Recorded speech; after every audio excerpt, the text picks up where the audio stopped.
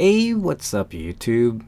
Today, I'll be showing you guys how to transfer your downloaded Showbox movie to your SD card and have the ability to play them on any devices. So without further ado, let's get started. Alright, so the first thing you want to do is go to your file manager.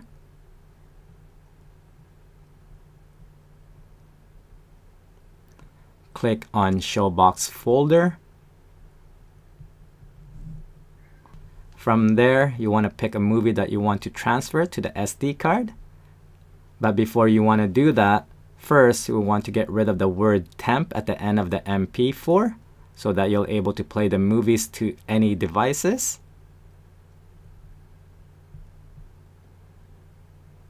From there, click on the three lines at the top left corner and press SD card. So now we want to make a folder and name it as movies.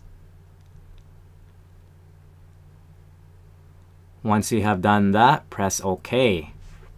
So the movie folder is done. Now we could go back to the internal storage and click on Showbox again. Click on the movie we want to transfer and then go click on copy.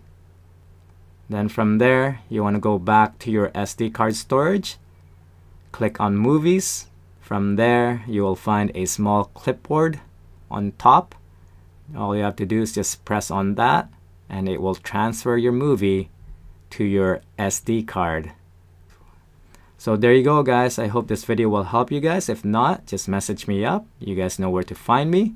So once again, thanks for watching my videos. If you guys have any suggestions on what videos or devices you guys want me to do next, please leave me a comment down below. Until then, I'll see you guys in my next video.